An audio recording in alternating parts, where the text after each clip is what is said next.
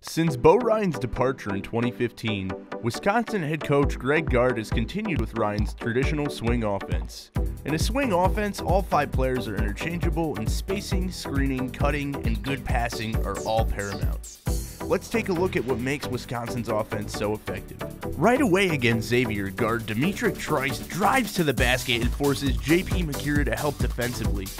Trice kicks it out to Brevin Pritzl, who nails the uncontested three.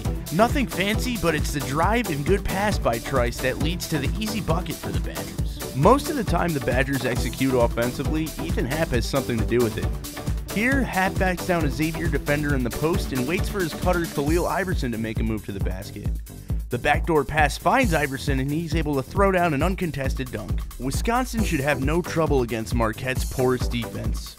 Off ball movement, cuts, and screens will be the key to their victory on Saturday. I'm Dean Bibens, Marquette Wire Sports.